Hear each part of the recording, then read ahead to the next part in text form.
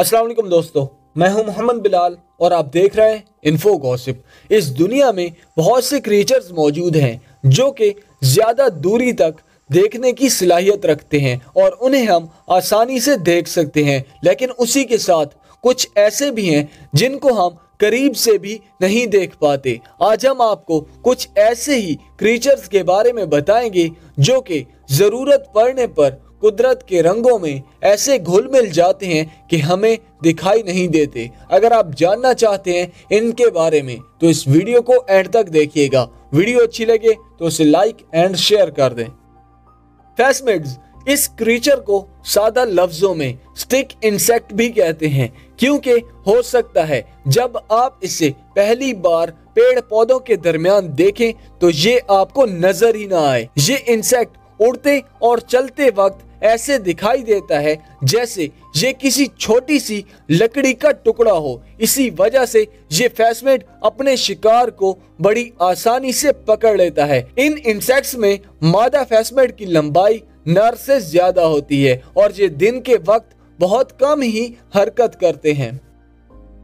Dead leaf minutes گرگٹ کے بارے میں آپ سب جانتے ہوں گے، جو کہ محول کے مطابق اپنے کلر کو چینج کر لیتا ہے۔ اسی طرح یہ انسیکٹ بھی اپنے کلر کو چینج کرنے کی صلاحیت رکھتا ہے۔ جب یہ انسیکٹ سبز پتوں میں ہوتا ہے تو اس کا کلر بھی سبز ہی ہو جاتا ہے اور زمین پر جاتے ہی خشک پتوں کے درمیان ہونے پر یہ اپنے کلر کو براؤن میں چینج کر لیتا ہے اور دکھائی نہیں دیتا۔ جس کے بعد شکاری جانور جو کہ اس کا شکار کرتے ہیں، اسے دیکھ نہیں پاتے۔ بیرن کیٹرپلر، ان پتیوں کو جب آپ نے پہلی بار دیکھا ہوگا، تو یہ نارمل درخت کی ہی پتیاں دکھائی دیں گی۔ لیکن اگر آپ اسے غور سے دیکھیں، تو اس میں آپ کو ایک کیٹرپلر دکھائی دے گا، جسے بیرن کیٹرپلر بھی کہا جاتا ہے۔ اس طرح کا کیٹر زیادہ تر آم کے پتوں پر ہی دکھائی دے گا، جسے ایشیا کے مختلف ممالک میں دیکھا جا سکتا ہے۔ یہ کیٹرپلر شروع میں انڈے سے لاروہ سٹیج کے دوران ہی ایسا دکھائی دیتا ہے۔ اگر یہ کیٹر پلر نر ہوگا تو اس کا کلر نارمل براؤن شیڈ دے گا اور مادہ کیٹر پلر ڈارک گرین میں دیکھنے کو ملتی ہے۔ یہ جاننے کے بعد کوئی بھی بتا سکتا ہے کہ جو کیٹر پلر اس کے سامنے ہے، وہ نر ہے یا پھر مادہ۔ فلیڈائی لیف انسیکٹ، یہ ایک ایسا انسیکٹ ہے جو کہ پتوں کی طرح ہی دکھائی دیتا ہے۔ یہ زیادہ تر پتوں والی سبزیوں میں ہی پایا جاتا ہے تاکہ یہ اپنے آپ کو سب سے چھپا سکے۔ کیونکہ اس کی بناوٹ ہی پتوں جیسی ہی ہے۔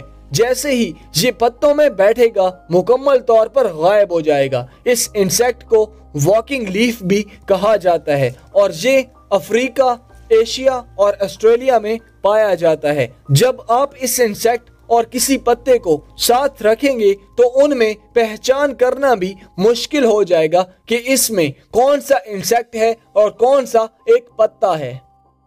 بف ٹپ موٹ، جو کہ ایک لکڑی کے ٹکڑے جیسا ہی دکھائی دیتا ہے۔ اگر یہ بف لکڑیوں میں آپ کے سامنے بھی ہو تو آپ اسے نہیں دیکھ پائیں گے۔ اس بف کو مئی سے جون کے درمیان ایشیا، یورپ اور سائبیریا میں دیکھا جا سکتا ہے، کیونکہ ان ممالک کے علاوہ یہ آپ کو کہیں نہیں ملے گا۔ یہ بف اپنی بھوک مٹانے کے لیے درختوں کی شاخیں اور پتیاں کھاتے ہیں۔ اپنی زندگی کے آخری لمحوں میں ان کی لمبائی کافی بڑھ جاتی ہے اور اس وقت ان کے پروں کی لمبائی 55 ٹو 70 ملی میٹر تک پہنچ جاتی ہے۔ کسی جگہ پر بیٹھے ہوئے جب بھی آپ اسے دیکھیں گے تو یہ آپ کو ایک لکڑی کے ٹکڑے جیسا ہی دکھائی دے گا۔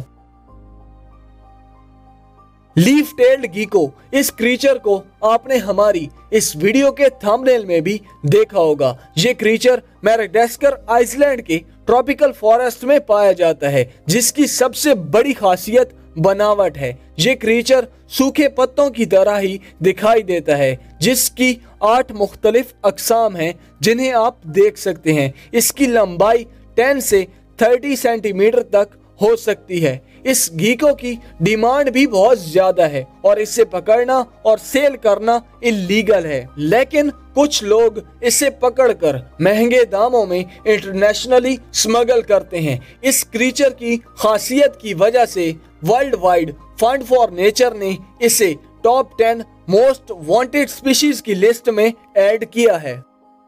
ان میں سے کون سا کریچر آپ کو سب سے زیادہ عجیب لگا ہے؟ کمنٹس میں ضرور بتائیے گا۔ ویڈیو اچھی لگی ہے تو اسے لائک اینڈ شیئر کر دیں۔ چینل کو سبسکرائب نہیں کیا تو جلدی سے سبسکرائب کریں۔ پھر ملتے ہیں آپ سے اگلی ویڈیو میں ایک ڈیفرنٹ ٹاپک کے ساتھ۔ ابھی کے لیے تھینکس الاٹ اینڈ اللہ حافظ۔